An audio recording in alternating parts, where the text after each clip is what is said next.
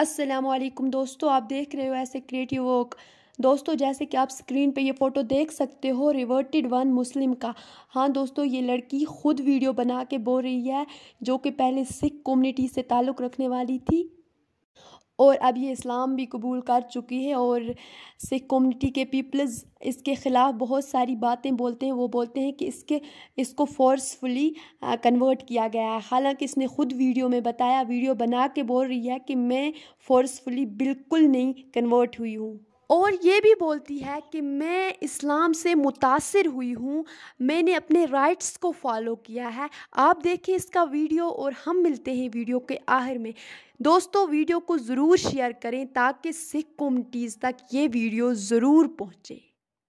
असलकुम वरहमल वबरक मेरा नाम खतीजा है और आ, मैं दो तीन महीने पहले मेरा भी कन्वर्जन हुआ है।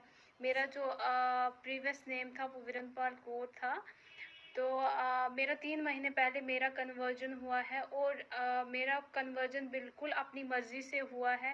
बिल्कुल आ, किसी के दबाव में आके नहीं हुआ है। बिल्कुल अपनी मर्ज़ी से हुआ है। मैं खुद विलिंग थी और मैं सा मतलब सिख कम्युनिटी काफ़ी तीन चार दिन से काफ़ी रूड हो रही हैं। इस वजह से मैंने वीडियो बनाया, क्योंकि वो खाली यही कह रहे हैं कि गन पॉइंट्स पे कन्वर्जेंस हुए हैं और कहीं ना कहीं मैंने देखा, मेरा नाम भी आया हुआ था, इस वजह से मैंने वीडियो बनाया। तो मैं सबको बताती चलूँ कि कोई भी लड़का, कोई भी लड़का, चाहे कुछ भी हो जाए, शादी के मामले में किसी को फोर्स नहीं कर सकता है। तो मैं मैंने भी अपनी विलिंग से मैंने मैं अब खुद विलिंग थी मैंने अपना कन्वर्जन करवाया मैंने शादी करवाया शादी की मैंने। तो आ, मैं ये भी बताती चलूँ कि जब मैं आ, मैंने खुद डॉक्यूमेंटेशन की जब मैं जज साहब के सामने गई सबसे पहले जो जज साहब डॉक्यूमेंट वहाँ पे चेक करते हैं जो डॉक्यूमेंट वहाँ पे मांगते हैं वो एक लड़की की डीओ भी मांगते हैं सबसे पहले। तो मुझे नहीं लगता है कि कोई ऐसा मतलब कोर्ट होगा या कोई ऐसा जज होगा कि वो माइनर लड़की का की शादी करवा देंगे या कोई ऐसा मौलाना होगा जो छोटी लड़की का कन्वर्जिंग करवा देंगे, ऐसा कोई मसला नहीं है। रहा सवाल मौलाना साहब का। मौलाना साहब या मुफ्ती साहब जो हैं, जो शादियाँ करवाते हैं तो मैं ये भी बताती चलूँ कि जब वो शादी करने के लिए हम मौलाना साहब के पास, खास मैं अपना बताऊँ, मुझे दूसरों का नहीं पता, मैं अपना बताती हूँ, जब मैं मौलाना साहब के पास शादी के लिए गई उन्होंने मुझे, एक बार पर्सनली मुझे पहले मौलाना साहब मिले, दूसरी बार मैं फिर मुफ्ती साहब से मिली। उन्होंने मुझे पर्सनली अलग अलग इन्वेस्टिगेट किया कि कोई फोर्सफुली मतलब आपको कन्वर्जन तो नहीं करवा रहे हैं, या इसका आप, इस लड़के का कोई और मसला तो नहीं है, आपका कोई और मसला तो नहीं है, जिस वजह से आप मतलब कन्वर्ट हो रहे हो, अपनी मर्ज़ी से हो रहे हो, क्या, या आपको फोर्सफुली कन्वर्ट किया जा रहा है। तो ये मैं सबको बताती चलूँ कि जब भी शादियाँ भी होती हैं, निकाह भी होते हैं, मौलाना साहब या मुफ्ती साहब होते हैं, वो भी अपने लेवल पे पहले इन्वेस्टिगेट करते हैं। वो लड़की से पहले पूछते हैं, कहीं ये फोर्सफुल एक्ट तो नहीं है? आपको कहीं फोर्सफुली कन्वर्ट तो नहीं किया जा रहा है? तो उसमें काफ़ी दो चार दिनों से जो ये सिख बरदरी हमारी है, वो काफ़ी रूड हो रहे हैं। तो मैंने इसीलिए वीडियो बनाया कि मैं ये बताती चलूँ कि कोई भी कन्वर्जन या कोई भी शादी, खासकर शादी, बाकी चीज़ों का मैं नहीं बोल सकती हूँ। खासकर अगर कोई शादी होती है तो वो बिल्कुल फोर्सफुली कोई शादी नहीं हो सकती है तो गन पॉइंट पे लव जिहाद का तो कोई मसला ही नहीं है इन्होंने कोई मैं सबसे अपील करती हूँ कि प्लीज़ फॉर गॉड सेक इस मसले को पॉलिटिकल इशू ना बनाएँ। पॉलिटिकल इशू बनाने की कोई ज़रूरत नहीं है। ब्रदरहुड को तोड़ने की कोशिश की जा रही है कश्मीर में। तो ये, जो आपसी बरादरी है, सिख बरादरी या मुस्लिम्स की आपस आपस में जो बरादरी है, उसको तोड़ने की कोशिश की जा रही है।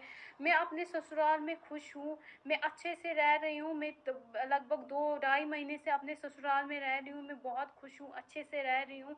और ऐसा कोई मसला नहीं है मेरे साथ। मैंने खुद अपना कन्वर्जन खुद अपनी मर्ज़ी से किया था। और मैं एक बालिंग लड़की हूँ। मेरे अपने फंडामेंटल राइट्स हैं।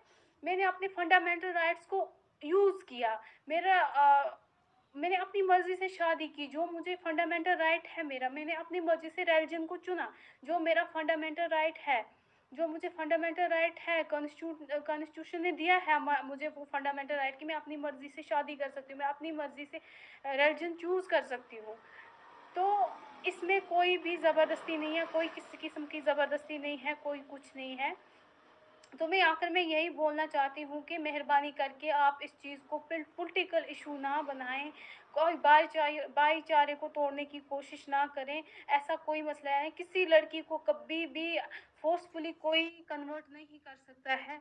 और आजकल की जो जनरेशन है, खासकर आजकल की जनरेशन को कोई भी कन्वर्ट नहीं कर सकता है फोर्सफुली ये हम सब अच्छे से भली बात ही जानते हैं। तो मैं सबसे यही अपील करती हूँ कि मेहरबानी करके पॉलिटिकल इशू ना बनाएँ।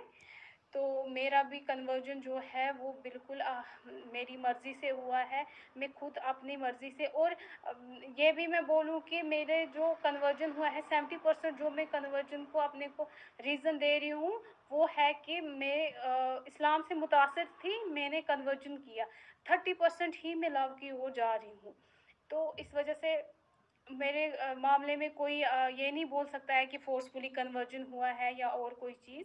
मैं, इसीलिए मैंने ये वीडियो बनाया कि मैं आप सबको बोल सकूँ, मैं सबको दिखा सकूँ कि यार मेरा कोई कन्वर्जन नहीं है मतलब फ़ोर्सफुली और ना ही मुझे किसी ने गन पॉइंट पे रखा, जैसे आप साहब बोल रहे थे गन पॉइंट पे रखा है ये, वो, ऐसा कोई मसला नहीं है मेरे साथ। दोस्तों, हकीकत भी है, अगर ये लड़की अपने राइट्स को फॉलो कर रही है तो इस पे किसी को उंगली नहीं उठानी चाहिए।